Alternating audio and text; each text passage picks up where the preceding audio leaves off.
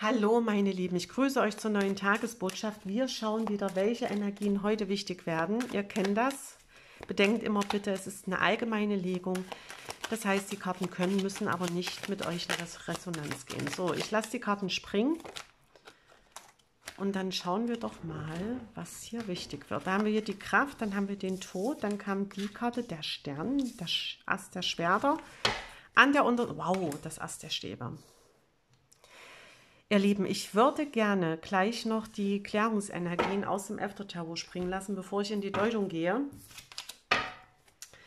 Eine Klärungsenergie für die Kraft, eine Klärungsenergie für die Kraft,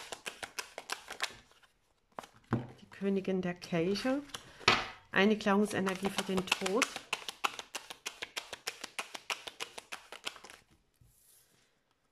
die Sieben der Stäbe, eine Klärungsenergie da haben wir sie schon, die drei der Schwerter und die zehn der Kelche. Eine Klärungsenergie für das Ast der Schwerter. Eine Klärungsenergie für das Ast der Schwerter.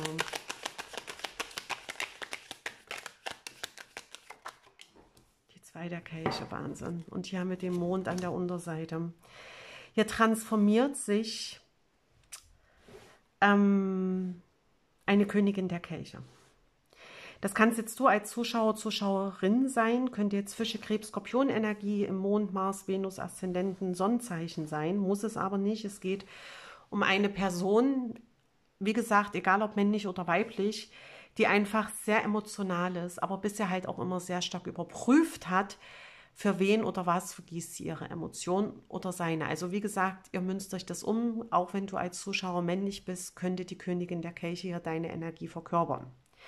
Es kann sich aber auch um ein Gegenüber handeln, ne? ihr wisst. So. Jetzt ist es so, dass diese Königin der Kelche-Energie immer sehr stark im Kampf war. Sie musste sich durchsetzen oder er, ne, sie ähm, hatte immer das Gefühl, Kraft investieren zu müssen, sich durchsetzen zu müssen. Ja, so, so alleine gegen den Rest der Welt. Und jetzt transformiert sich hier etwas. Diese Königin der Kelche-Energie in ihrer Löwekraft, ne, also das ist auch eine Erscheinung, diese Person, ähm, kann es gut möglich sein, dass es jetzt einen Wandel gibt, dass hier alte Verletzungen geheilt werden. Durch was das jetzt ist, sagen die Karten nicht. Aber durch den Stern, das Ast der Schwerter und das Ast der Stäbe, könnten hier Chancen, das kann innerlich sein, das kann von außen sein, in Form einer anderen Person, eines Angebotes, wie auch immer, kann es sein, dass die Energie dieser Königin der Kelche, dieses ständige, ich kämpfe, ich mache, ich muss mich durchsetzen, so alleine, wie gesagt, gegen den Rest der Welt, das wandelt sich und hier kommt es zu einer Erfüllung, zu einem inneren tiefen Vertrauen. Die Zehn der Kelche mit dem Stern ist für mich auch das tiefe Vertrauen, die Heilung alter Wunden, dass hier etwas passieren kann, was zu absolutem Frieden führt. Es kann sich hier um Versöhnung, Annäherung mit einem anderen Menschen handeln. Es kann sich aber auch mit dem Mond, das ist für mich astrologisch auch immer die innere Kindthematik, ich nehme hier so einen Seelenfrieden wahr. Ne, dass die Energie oder das Gefühl, was diese Königin der Kelche hatte, immer dieses Ich muss kämpfen und machen und tun, dass sich das hier völlig wandelt. Es kann aber auch sein, dass sich jetzt ein Kampf bezahlt macht. Ne, vielleicht warst du hier als Zuschauer, Zuschauerin oder jemand aus deinem Umfeld musste sich ständig behaupten. Es ging hier um Auseinandersetzungen, es ging vielleicht auch um Mobbing-Themen, es ging um Ungerechtigkeit kann es gut möglich sein, dass diese Person jetzt für ihr Durchhaltevermögen belohnt wird, weil hier eine Ehrlichkeit ans Licht kommt. Ja? Weil irgendetwas sich gefügt hat, weil irgendetwas sich wandelt durch den Tod mit der Transformation, dass dadurch eine Kampfenergie beendet wird und man hier für sich entweder in die Aussöhnung und Versöhnung geht oder eben für sich in den inneren Frieden, wenn keine andere Person sich von außen entschuldigt. Also hier wird auch irgendwo ein Urteil gesprochen mit dem Ast der Schwerter, ist für mich auch ein Urteil oder Gerichtsprozesse oder wie auch immer, wo es tatsächlich um das Recht geht. Es kommt die Gerechtigkeit. Und mit dem Mond ist es so, dass man hier wirklich einen Weg der Angst gegangen ist oder wirklich jetzt bereit ist, einen Weg der Angst zu gehen, sich etwas genauer anzuschauen oder, und das ist auch eine Fische-Energie, finde ich sehr interessant, dass etwas ans Licht kommt. Na, Fische, zwölftes Haus, steht für das, für, für Geheimnisse, für das Unausgesprochene, für das Undurchsichtige. Aktuell ist Saturn rückläufig im Zeichen Fische, wo es auch ganz schnell mal mit der Ehrlichkeit oder dass etwas aufgedeckt wird. Und das könnte ja auch der Fall sein. Ne? Also irgendetwas wird hier, wird eine Gerechtigkeit ausgesprochen, wird, ein, ja, wird einfach irgendwie etwas kommt ans Licht, was jemandem dazu verhilft, zu seinem Recht zu kommen. Ich lasse jetzt hier mal noch eine Weisheitskarte für Lebensentscheidungen springen, ihr Lieben. Welche Karte wird für die heutige Tagesbotschaft hier wichtig? Reparaturarbeit.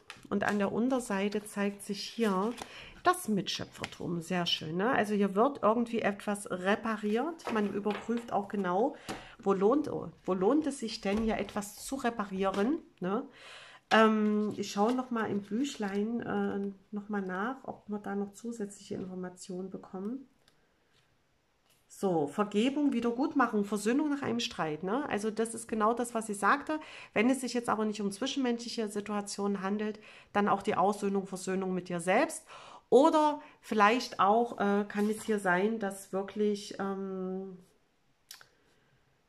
vielleicht auch im Beruflichen, dass du nochmal, dass du Entscheidungen im Beruflichen triffst. Also es kann ja wirklich in allen möglichen äh, Bereichen sein. Es geht ja wirklich darum, einem gebrochenen Herzen, ne, wirklich das heilen zu lassen, dass wir die Masken fallen lassen, dass wir authentisch miteinander umgehen oder du authentisch und ehrlich in einer Situation mit dir selbst auch umgehst. Ne?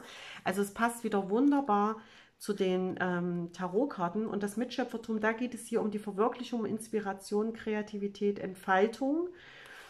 Und hier geht es wirklich darum, ähm, dass es eben genau, wie ich das vorhin sagte, dass es sein kann, dass du dich immer zu sehr angestrengt hast, dass du immer zu sehr gekämpft hast. Und jetzt eigentlich der Hinweis gegeben ist, genau zu gucken, für was, für was hast du dich ja eigentlich ständig eingesetzt? Was davon macht wirklich Sinn? Was bringt dich weiter? Wo kannst du dich tatsächlich auch mit dem Ast der Stäbe verwirklichen?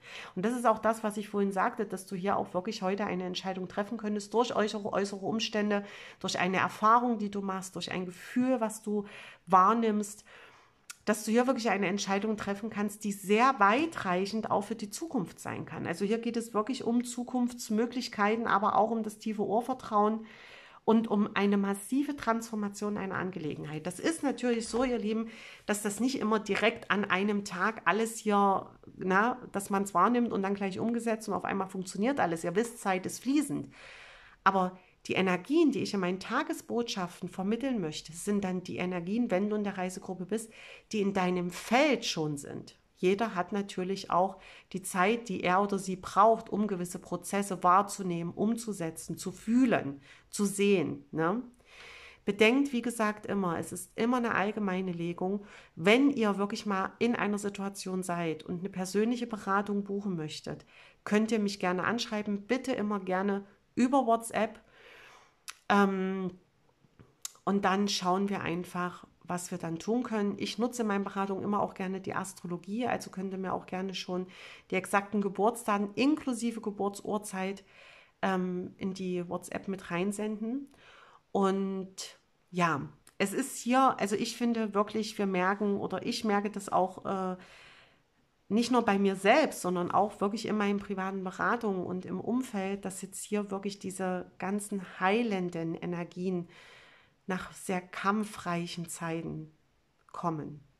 Und ich wünsche das jedem, vor allem wünsche ich jedem Gesundheit und Erfolg und Glück und vor allem den inneren Frieden. Ihr Lieben, habt einen zauberhaften Tag. Ich grüße euch alle. Ich danke euch für eure Likes, für eure Abos und dann hoffentlich bis bald. Eure Helene.